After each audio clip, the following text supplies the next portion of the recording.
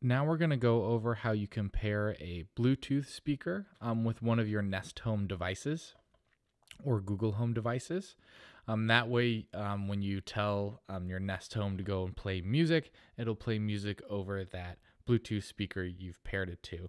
So the first thing you want to go ahead and make sure is that the Bluetooth speaker that you want to pair your um, device to is turned on and is in pairing mode. And depending on the Bluetooth speaker you have, um, sometimes you just have to hold the power button. Maybe sometimes there's a separate button um, in order to put it into pairing mode.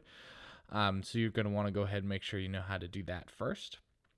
But once it's on and it's in pairing mode, you're going to jump into the Google Home app here and you're going to select the um, Google or Nest Home speaker that you want to go ahead and pair that Bluetooth speaker with. So we're going to go ahead and do that with the Office speaker. So I'm going to go ahead and tap on the Office speaker. And from here, I'm going to go ahead and click on the settings icon. And once I've opened up the settings here, you're going to want to head, go ahead and scroll down to the options here. Now you see the pair Bluetooth device option here. You actually don't want to use that option.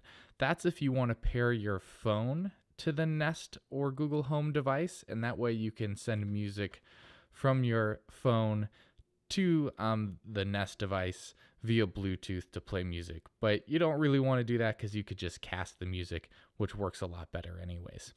So, to actually pair a Bluetooth speaker with it, you're going to go to the default music speaker option here.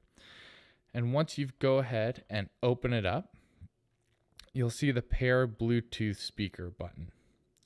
And I'm going to go ahead and put my Bluetooth speaker into pairing mode here. There we go. And now I'm going to go ahead and click on pair Bluetooth speaker.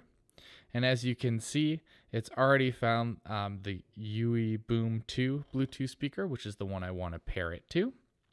So we're going to go ahead and select that. And it's going to go ahead and pair, which is great. And what's it, it's also going to set this Bluetooth speaker we just paired um, to our um, default music speaker for this uh, Nest Mini device automatically. So we're going to go ahead and click Done, and you'll see it's now the default here. So if we go ahead and ask um, this Office speaker to play music, it's going to go ahead and play that music out of the UE Boom um, Bluetooth speaker here that I have paired. So that's how you go ahead and pair a Bluetooth speaker um, with a Nest Home or Google Home device. Hopefully that helps.